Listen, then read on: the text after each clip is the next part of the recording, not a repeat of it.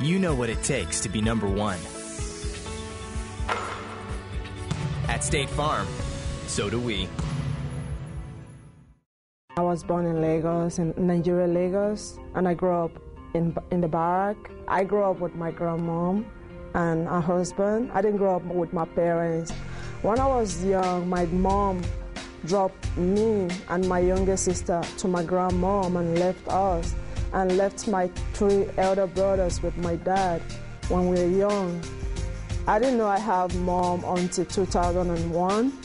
That was when I found out that I have mom. I thought my grandmom was my mom, and I thought my grandmom husband was my dad. I live all my life with them. They take me like their children. The husband took me like his own his own daughter.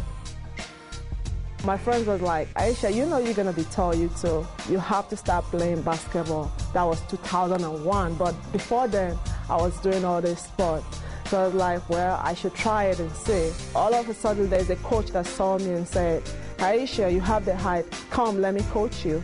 So that was how I started playing basketball. She was playing for a friend of mine, Lynn Larson, in, at Central Arizona, and um, she's just a she was a fabulous player, even in her first year there. So that's really when, when I heard about her and started to recruit her.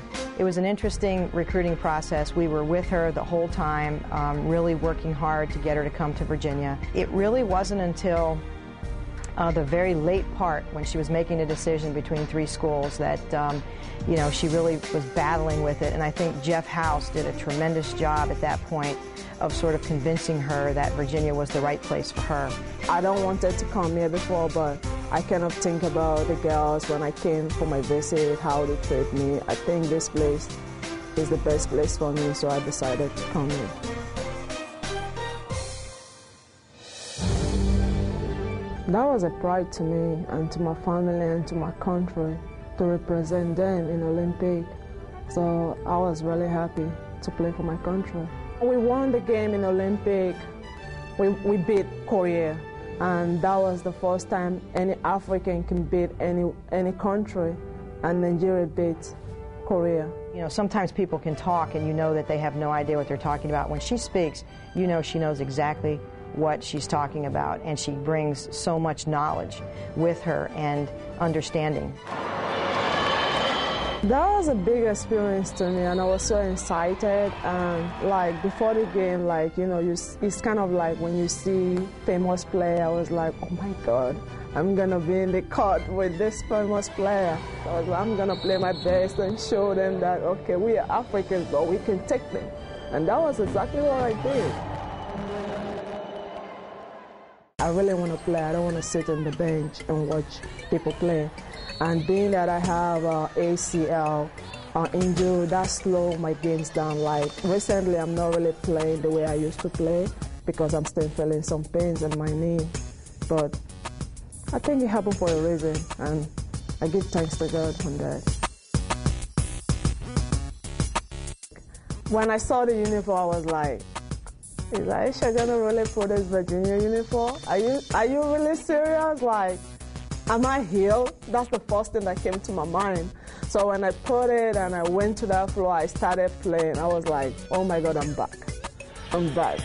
So I was really happy to put on the Virginia uniform. What Aisha brings is just a tremendous low post presence and uh, and rebounding. She's just someone who changes the complexion of the game because you just can't.